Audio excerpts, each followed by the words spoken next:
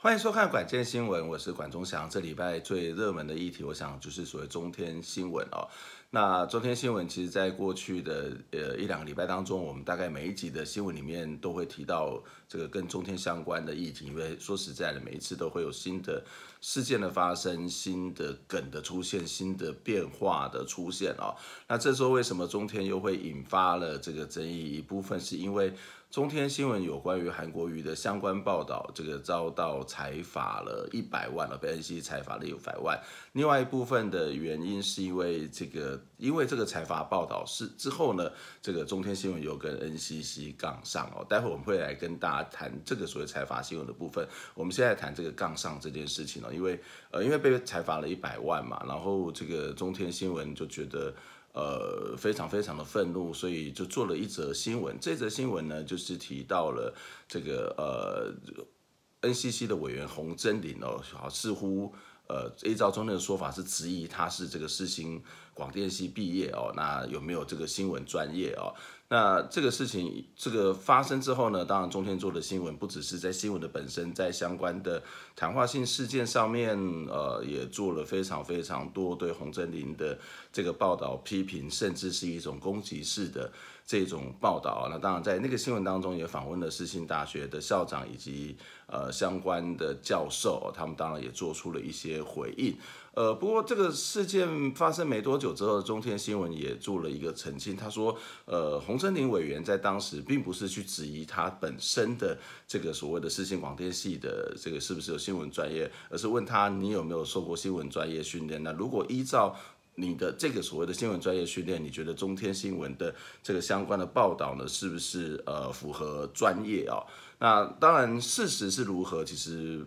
不得而知。所以某种程度上面，可能也出现了这种所谓的各说各话的情况。但是没想到，这个中天新闻的这个报道，就引发了四星学生的不满哦。这个不满并不是去针对呃这个洪正林委员，这个不满反而是去针对的是这个中天新闻。所以他们发起了一个活动，联署的活动呢，我是是新人。哦，我反这个望中，那他们对里头就对这个记者以及这个中天新闻的专专业表现呢，提出了一些批判跟质疑哦。那没多久，这个台师大的大传所也发起了联署，去支持这个 NCC 要去对这种所谓的不当的新闻专业的表现的，应该要去进行这个采访哦。好，那大概是这个事件的后续延续。我相信这个事件它后以后还会再持续的出现哦。不过回到这个这件事情来说，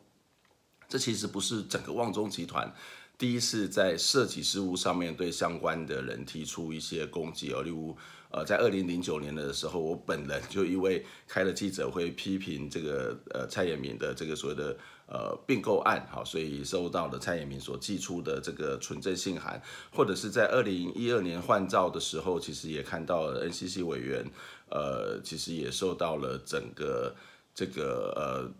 被铺天盖地式的旺中集团铺天盖地式的。这种攻击哦，那在二零一二年，其实有一件事情，我不晓得大家还记不记得，就是中天电视它当时是有伦理委员会的，那也因为它这一种所谓的报道涉及事务的这种做法呢，也引起了这个其中的三位伦理委员的不满了，包括这个胡元辉，包括季惠龙，包括这个刘佑利三位这个伦理委员呢，就先后离职了，就是因为他觉得中天在做相关涉及事务的报道，其实是非常非常。不符合这个新闻专业的啊，那其实，在新闻呃，卫星电视工会的新闻制播准则里面，其实也有对所谓的涉及事务的这个报道，他提出了一些规范哦，包括呃，第一个就是在报道涉及事务时候，必须以新闻专业自主为前提，不可违反这个他们所定出来的新闻自律的纲要。那第二个，包括在定这个所谓涉及事务的时候呢，必须接出公共利益原则，还包括要遵循呃遵循这个公共利益原则，公遵循这个。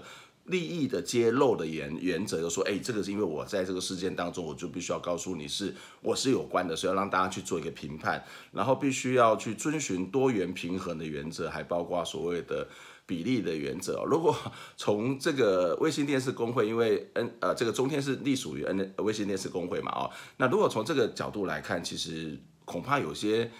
这个内容上面都是已经违反了，例如说在比例原则上面，可能就有让家很大很大的。呃，质疑哦，那的确，先不论谁是谁非，我是觉得应该，如果要知道谁是谁非，很简单嘛，就是进入到法律程序、申诉的程序。那如或者是说，NCC 如果要愿意去公开这个所谓当时的这个会谈的影带，或者是中天他们有拍到这个所谓当时的会谈影带，就直接把它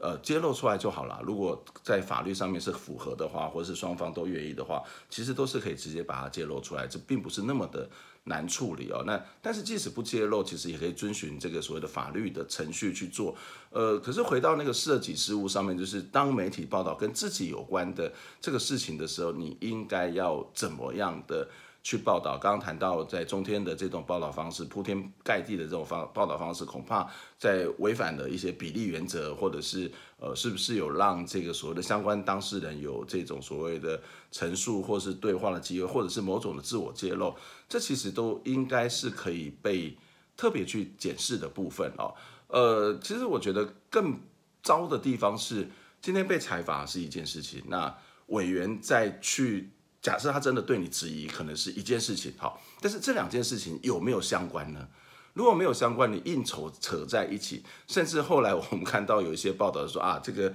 这个呃这个台大新闻所的这个招生率是下降的，然后也跟这个这个意见事件呢可能有一些关联性哦。那这这根本就是一个硬扯嘛哦。那新闻所这个报招生的人下降，其实是一个普遍的少子化的问题哦，或者是普遍可能对新闻事业、新闻产业的一种所谓的不认同，或者是他觉得这个未来是没有出路而下降。那你硬把这些东西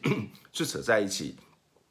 然后跟我说，这个是所谓的你有所谓的新闻专业的表现。我想很多人大家都没有办法认同你这样一个做法是有新闻专业的表现哦。好，当然我们刚刚谈到为什么会出现这后面一连串的事情，其实跟在这个礼拜一开始的 N A 呃这个所谓的 N C C 对于中天新闻去采访一百万是有关的啊。我们来看一下下面这一则新闻。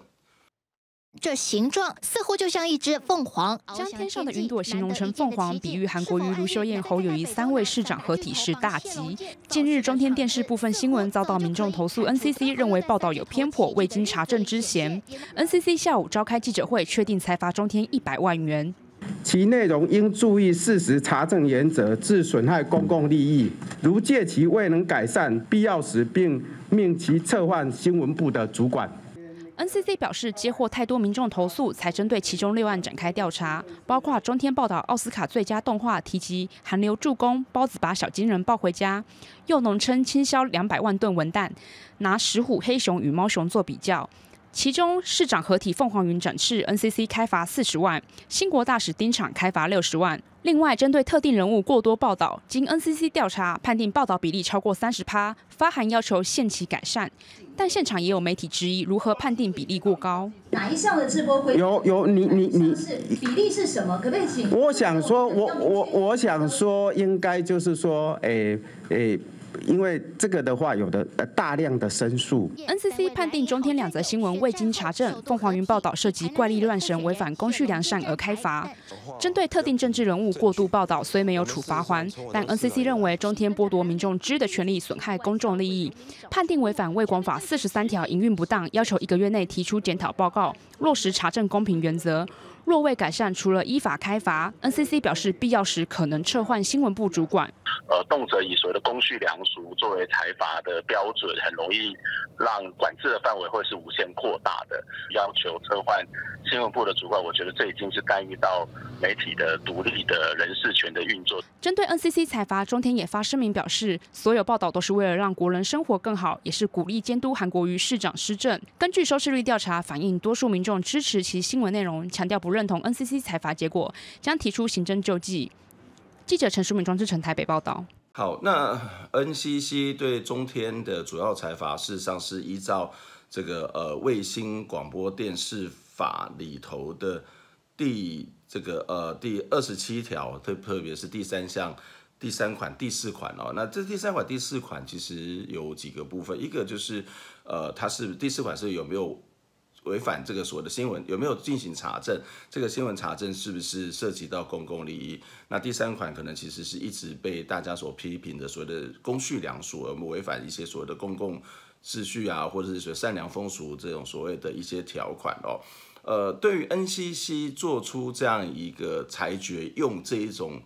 条文，其实我本身是有非常大的疑虑哦。那第一个就是我不是很清楚他用的这个所谓的查证原则的标准是什么，就是有没有有没有去做进行查证啊，或者是呃这个查证，当然他可能不是有没有去做查证这件事情而已，而是他是不是穷尽做的查证。那 NCC 委员他有没有去很充分的了解他的查证的历程是什么啊？那当然这个。报道的本身，其实我就觉得是有点荒谬。例如说，谈到那个嗯呃，这个韩国有出现，然后这个天上有 这个凤凰哦，然后等等的这这个做，而且这个民俗专家也预言这个呃谢龙界会大胜，他结果其实根本也没有大胜嘛哦。那这个内容的荒诞性或是奇幻性是一回事，可是如果你要去认定他是没有查证或是违反了这个事实查证的原则，这个程序是什么？我想 NCC 可能要去。更清楚的对外说明。那另外一个其实让我觉得比较不安的就是，呃，这有关于社会的善良风俗哦等等的因素。嗯，我其实，在很多地方都讲过这个所谓的，如果以所谓的善良风俗、所谓的公共秩序、公序良俗这个概念来去进行裁罚的时候，其实很容易。造成所谓的新闻自由是非常非常大的这个影响哦，因为说实在，为什么会用这样一个法律，就是因为它缺乏了这个更明确的市政哦，就是例如说他可能没有违反了法律禁止的原则，但是其实他也不开心，那所以就用这样一个他，但是他他可能还真的对所谓的社会风俗等等会有一些影响，可是这个就会被人家举证说啊，比如不是只有我们报道这种所谓的荒诞不经的事情啊，别的电视台也有，那你为什么不去？去裁罚他们呢，或者是很多时候我们会把那个善良风俗的这个界限哦，这个非常非常的大，大到随时都有可能是违反的善良风俗。那这个可能会引起的这个所谓的新闻自由的受到影响，因为很多国家都会以社会秩序作为理由，或者以所谓的善良风俗作为理由去进行新闻自由的前置。当然，如果不是这个目的的话，其实也会引发了在后续的这个诉愿诉讼上面的一些。麻烦哦，就是可能就是啊，你这个理由不充分，然后会不断的再去进行这个所谓的诉讼。那呃，当然 NCC 也说，如果你没有做相相关的这个改善的话，也会建议去撤换这个新闻部的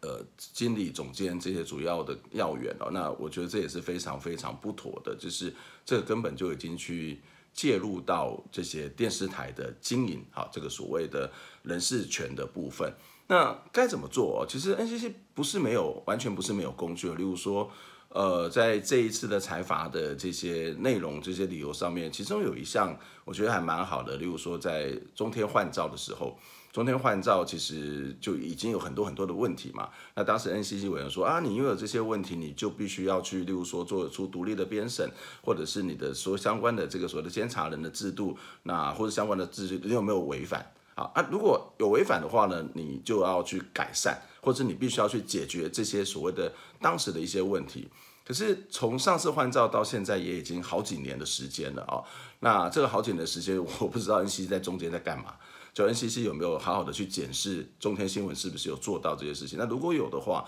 那当然是另外一回事；如果没有的话，我猜了哈，我猜可能会没有，或者是即使有那个效力也不彰。那如果没有的话，那是不是早就应该要去处罚他了呢？或者以这个作为一个所谓的相关的理由，会不会更充分一点呢？那另外，其实每一个呃，这个所谓的新闻台在申请的时候，其实都会提供营运计划书。那这营运计划书，我不知道中天写什么，但是我想不外乎可能是所谓新闻公正、客观，然后必须要查证等等多元等等的原则，这一些呃，在新闻的理念上面应该要去遵守的一些事情的。那我也建议 NCC 委员，你应该去看一下。他到底有没有去遵守他自己曾经 announce、曾经声称说我要做的这些呃所谓的新闻的专业表现，或者我新闻台的这个定位？那如果他当时定位说我就是要去做航天电视台，我就是要去帮特定的政治人物去宣传，那我就是不想要去监督他们。那那如果是这样的话，那恐怕呃现在的表现没有什么太大问题。如果不是呢？如果不是的话，那 NCC 要怎么做？好，因为。这一个电视台经营的时候，就跟他自己的营运计划书实际经营上面是产生了落差。那 NCC 该怎么做？那这是你们可以用的一些工具。那如果现在的这种做法，我觉得呃是非常非常适当，然后很容易引发很多的争议，甚至当不同的镇长在执政的时候，都有可能变成这个所谓他去处罚呃这个所谓的限制跟他敌对对立性媒体的一些的理由。那即使没有任何的这个所谓的政治性的目的，这个理由其实也很容易引发争议，甚至到时候会有不断的诉讼的这种情形去产生。我想这是 NCC 委员呃必须要去做一些思考的地方啊。当然，我们再稍微回到刚刚那个这个所谓的设计原则的部分，那因为我们不太清楚 NCC 委员里面。呃，到底洪真林委员他到底跟中天说了什么？那但是如果真的如中天所说的话，我想洪委员这样的说法是不妥的哦。那即使没有的话，其实我我也会觉得说，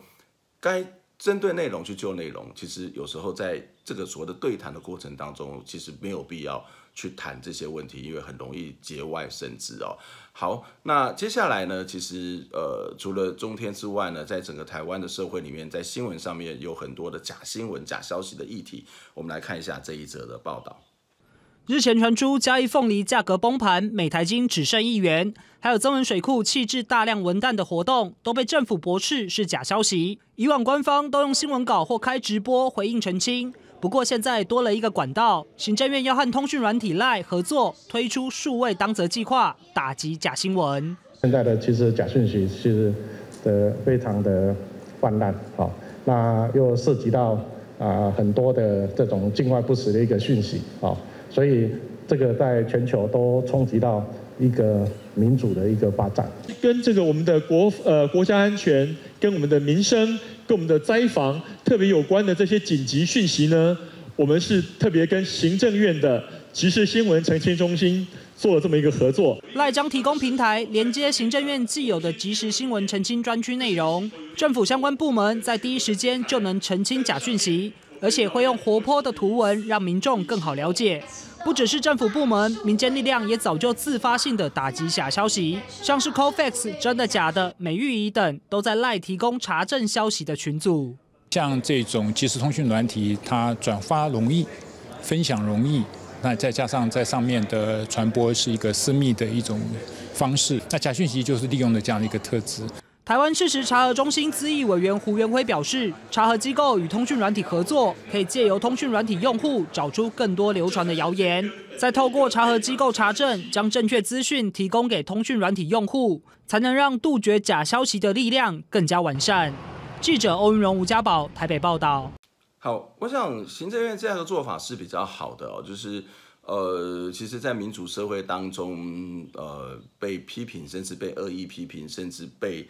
这个扭曲的批评其实是经常可见的，或者假新闻的攻击是经常可见的哦。那但是这个所谓的这个假新闻其实是有程度不同哦。那这个常常在认定上面会有很大的困难。如果有国家去做直接的管制，可能会引起的争议比较多，也可能会引起的这个社会上面。的这个所谓的不满哦，当然，如果这个所谓的假讯息、假消息是已经违法的，例如说，呃，违反了社会维护法哦里头的谣言，或者是它造成的某种的这个所谓的嗯社会的公共利益的恐慌，那当然跟社会维护法有关。那或者是说它可能违反了国安的治安的相关的法令，那政府去做，我相信相对之下是一个比较合理的哦。可是，在一般的状况底下，如果动辄以假新闻去限制报道，这个真的会引起很大的争议，所以，呃，我们看到最近这几个月，政府其实好，虽然很多人批评他是网红，但是某种程度上面，如果这个网红不是只有在做自我宣传，而是会把更多的时间去提供正确的资讯，那或者是去驳斥这些资讯，那其实是一个更更好的做法哦，就是他本来就应该要多多跟这个社会宣导这个政府在做什么。那当然，平常讲不会听啊，但是有这些问题出现的时候。呃，其实比较搞笑的讲，说不定大家还会比较去注意哦。那当然，现在看到的是一个更积极的做法，这个更积极的做法就是行政院跟赖群组去合作去做及时这个假新闻的这个澄清哦。那这个其实是一个相对之下，让我们提供不同的资讯，而不去干预这个内容的这种做法，至少让民众可以有一个比较相对真实的资讯可以依据。如果这个行政院或是相关政府部门所提供的资讯，它是本身是真实的哦。好，那接下来是另外一个可能已经被这个社会遗忘非常久的一个议题，就是有关于小林村的这个事件。我们先来看一下下面这一则的报道。发挥更深。多次在法院外沉痛抗议，高雄小林村在莫拉克台风时灭村，一百三十八位存活居民提起国赔诉讼，但缠讼八年屡屡败诉，终于在二十七号的更一审判决首度获得胜利，每人获赔一百五十万到三百万元。我不知道原来听到这样的声音的时候，是原来是这么的震撼人心。那 我。我很谢谢所有一路上关心我们的朋友，然后我希望小林村国赔案子，大家看的不是他的赔偿金额。而是他这个案子背后代表的真正的法律价值。小林灭村在一二审判决里都被认定是复合型天然灾害造成，公务员无法预见和避免，因此免责。直到上诉最高法院，住在高危险土石流浅市区的十五人属于必须强制撤离的保全户，最高法院认为市府必须要举证为何免责，因此把十五人发回更审，其余一百二十三人判决败诉确定。更一审则进一步确定，村长当时拒绝执行撤离，市府也没有进一步不作为。村长在这个这个时候，他是明示拒绝服从撤离的命令。但是即便是这个样子啊，合议庭仍然认为啊，高雄市政府迟未接获甲仙区公所通报执行的情况，市政府没有依照这个规定主动派员去协助处理。法院强调，虽然小林村预定的撤离场所后来也被风灾摧毁，但如果确实进行撤离，居民还是可能因此选择一清或到别的地方避难，有机会躲过风灾。对于是否上诉，市府表示会在收到判决公文以后再做演绎。记者王建村、孟昭全高雄报道。好，像我想莫拉克风灾的这个事情已经呃已经有非常长的。一段时间哦，也许很多人都已经忘记了这件事情，可是其实相关的这个所谓的诉讼的问题，或者是刚刚谈到的看到的国赔的问题，它仍然是在持续哦。那当然，这个判决是做出了这个小林村的这个居民呢，其实是能够获到获得这个国赔哦。呃，这当然是可以让这些居民有一些在身体、心理上面、身体上、生活上面有稍微可以喘息的机会。可是我要谈的另外一件事情就是，哇，这个事情已经很长的一段时间，当时有很多讨论是在于国土规划的问题，是在于说滥垦滥法的问题。那这些所谓的国土规划的问题，这个滥垦滥法的问题，其实在这段时间之后，到底政府做了多少？那不同的政府政党上台之后，是不是有持续的关注这些问题？那如果再发生一次类似的这个大的风灾，除了撤村，除了这个撤离居民之外，我们是不是可以让它不要发生？这个不要发生，呃，即就是说，整个的台湾的所谓的国体、国土富裕、山林富裕都能够比以前更好。那这个才可能是一个更根本的解决之道。以上就是这礼拜的晚间新闻，我们下礼拜再会，拜拜。